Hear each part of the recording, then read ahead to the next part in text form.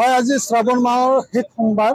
আৰু এই শেষ সোমবাৰ দিনটোতেই এক ৰাতিপুৱাৰ ভাগত মৰ্মান্তিক ঘটনা সংঘটিত হৈছে গোসাইগাঁৱৰ কচুগাঁও গোসাইগাঁও কচুগাঁৱৰ যি মা মহামায়া মন্দিৰ আছে এই মন্দিৰতে যি বলভূমত এটা দল ইয়াতে পূজা দিবলৈ আহিছিলে।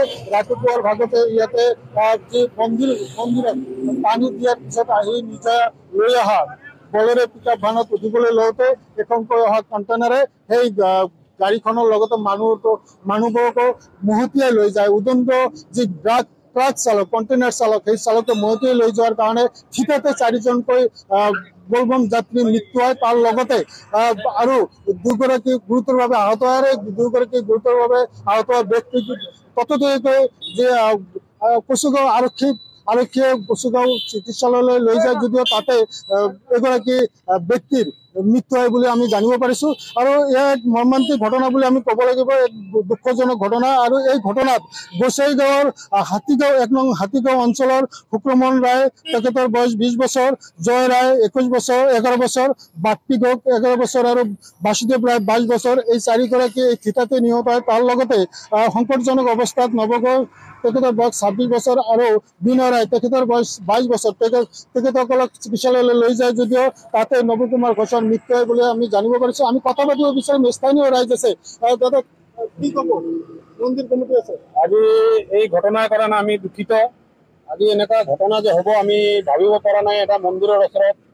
আৰু গাড়ীটো এনেকা আহিছে আগতে এইফালে বিস্মুৰি ইফালে বোলে দুজনক মাৰি পেলাই ই পুৰা স্পীডত আহিছে। আহি পেলাই এটা বুলেৰ' আমাৰ পাৰ্কিঙৰ পাৰ্কিঙত আছিল এটা বুলেৰ' পিক আপ বুলেৰ' পিক আপত মাৰি তাৰপিছত তিনিটা বাইকক উৰাই তাৰপিছত মানুহবিলাকক উৰাইছে। মানুহ আমাৰ মোটা মোটামুটি পাঁচজন ইয়াতে মৰিল চাৰিজন মৰিল দুজনক হস্পিটেলত লৈ গৈছিল। তাতে বোলে এজন মৰিল আমি এনেকা শুনা পালো।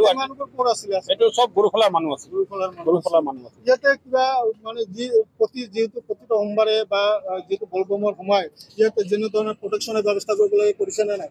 প্ৰটেকশ্যন মানে আগতেতো আমি এনেকা কৰা নাই কিন্তু আজি অহাকালি যোৱাকালি আমি কচুগাঁও থানাত গৈ পেলাই আমি কৈছো যে আমাৰ ৰাতিপুৱা চাৰিটা বজাৰ পৰা নৈটা বজালৈকে আমাৰ ইয়াতে ডিউটি দিব লাগে।